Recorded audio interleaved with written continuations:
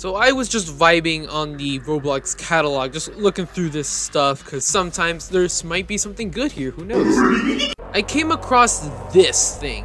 Yeah, I don't know what this is supposed to be, but it's like a pumpkin who like mated with a polluted monster of some sort. But anyway, yes, this is what I found. It's titled UG's Test UGC for some reason by them, and you can also see there's a verification there, so you know it's not BS. And um, it's a shoulder thing. I don't really know what else to say. No one has it yet, and yeah, I'm pretty sure this is obviously a Halloween.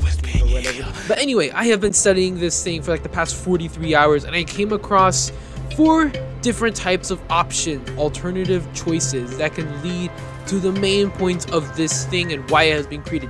Number one, Number one. obviously it is a little bit of a teaser for the Halloween event, you know, where you get to beat it and you get this item for, you know, a shoulder for free. Number two, it's obviously a test UGC and there's probably going to be something else more probably even like a duplicate or better version, I don't know. And number three, this might be a little bit of a teaser that the Neko skin is actually so cringeworthy that they had to make an alternative DJ Hey, yo, skin what for it. fuck? Number four is, well, that this is all pointless and is just dumb waste of time. Why are we still here? But anyway, let me know your your uh, opinions down in the comments below. I'm gonna call him Abomination. Fuck this animals!